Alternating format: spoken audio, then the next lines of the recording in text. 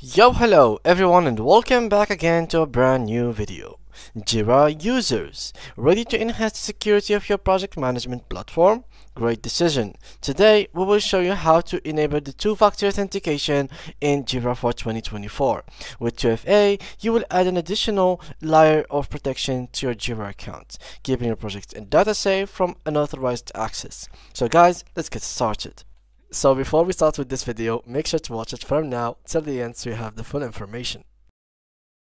So the first thing that you'll have to do guys is to actually go to the Jira website. Jira website is actually connected to the Atlassian. So to get access to it, you simply have to go to Jira or the Atlassian.com. Then after that, go to sign in right through here as you can see. And after that, simply just log into your account. You can log in using your Google, Microsoft, Apple and Slack so for me i'm going to log in with my google account choose my account and there i am. So after i have logged into my account as you can see this is how it looks like and this is basically the dashboard. Now after you are done with that let me just uh, translate the page to English so we can be in the same page. And after that what you should do guys is to simply not click on settings through here but you have to click on your profile from here and go to your profile or account settings.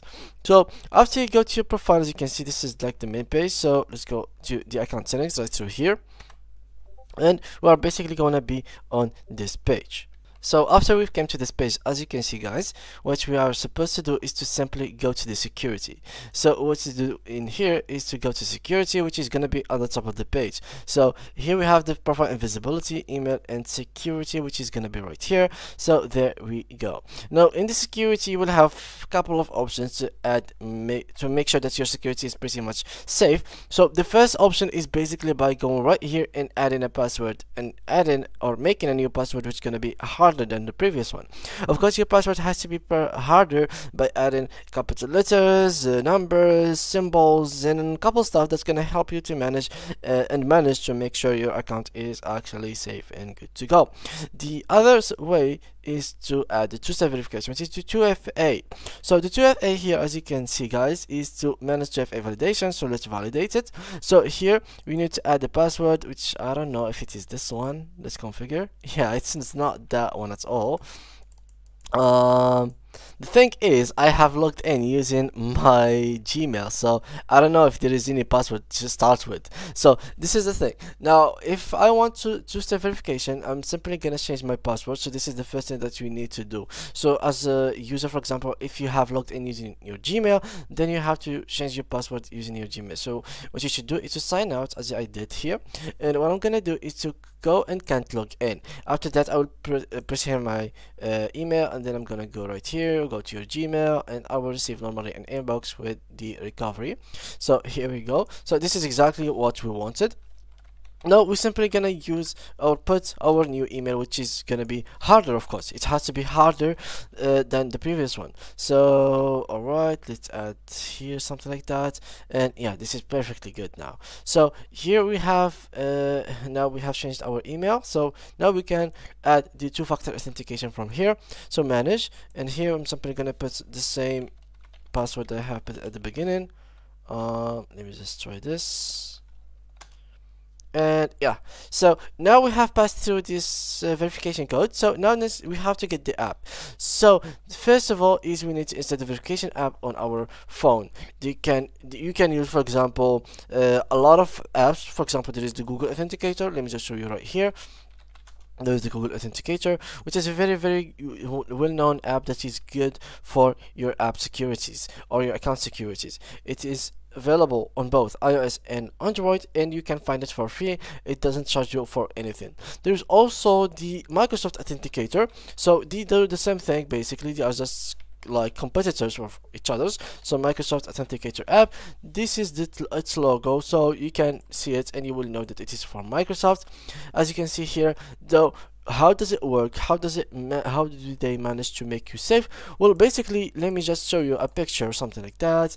Uh, if it is possible let me just refresh the page. Okay so here we have like a couple of pictures. So uh, let me just open this on Google Play. So as you can see here on this picture you will have a code that's gonna be changing every 30 seconds. This code is actually six number six digit numbers that's gonna be changing every couple of seconds. So this code will never be known by anyone because it is a one-time code and it is gonna be refreshed every few seconds. So even if someone tries to guess your number well next time it's it's gonna be literally impossible because first of all there is six different numbers. Second of all these numbers are not gonna be for example now it is here 895823 next time it's not gonna be 895824 no it's gonna be literally changing to a random number. So this is the best thing about it is it randomly changes which makes it a lot harder for anyone to actually attack your account or to steal it or to take it away from you by just having these uh, by guessing your numbers. So this is why these apps are pretty much OP because they're gonna help you in managing your account security. And this is a very like this is at the moment the strongest layer of the web 2 security. Since the web 2 security is basically the secret phrase recovery if you are well known with crypto but here when we come to web 2 which is basically your email your web uh, historic and your gmail account etc this is the best layer at the moment beside of course uh, adding your um, your phone number etc so here as you can see a start verification on your mobile phone. Go now to the second step. Says i'm ready and scan the code. So now they will give you the code which you have to scan it. So this code has to be scanned by your mobile phone inside of the app. So you remember the app that we said that we need to install which is the authenticator?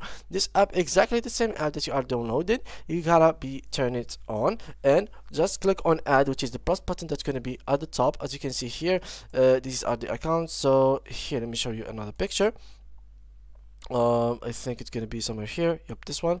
So let me just open it real quick so as you can see here, we have this account. As you can see, there is this plus button at the top right corner. So right click on it and simply, or just tap on it since you are on your mobile phone and scan this code or this QR code using it. After that, you will get the chance to put here the six digit code that will be available for you right after you have added or scanned the QR code.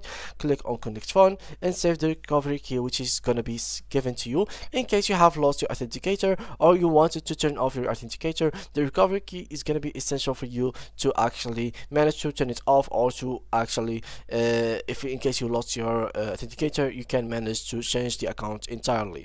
So yeah guys these are basically the basic of on how you can turn on your basic account. So with that being said you have successfully added extra layers not one not two but a lot of layers since we talked about the password that you have added. Of course you should add another layer which is going to be your phone number since you're going to be forced to do so. And finally here we have added an authenticator app that's going to be so much stronger so much better than other uh, authenticators that you have seen before. And of course guys make sure to use one of the authenticators that I have mentioned in this video either Microsoft Authenticator or the Google Authenticator to make sure your accounts are pretty much in the good shape. So yeah guys that was it for today's video. Thanks Thanks a lot for watching. See you guys in the next tutorial.